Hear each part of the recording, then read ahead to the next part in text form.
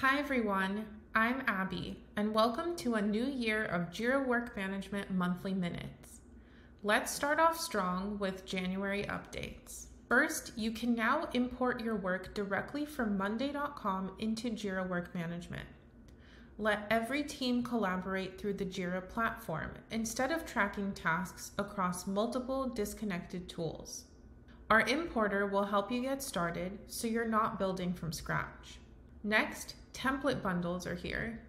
Sometimes work happens across multiple projects and teams. Let everyone work their way without skipping a beat. Choose a pre built bundle or create your own to get started. Now you've unlocked real cross functional collaboration. Last but not least, you can now add new custom fields to your work without leaving list view. Click the plus icon between columns to create a new field or choose an existing one. You can start using it right away and make edits to it too. An eventful start to a great new year. Let us know what you think at community.atlassian.com.